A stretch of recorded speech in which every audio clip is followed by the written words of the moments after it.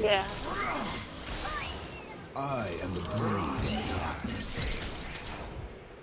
Oh, that is kind of. I would, that's kind of funny because I was telling today, I'm like, you know,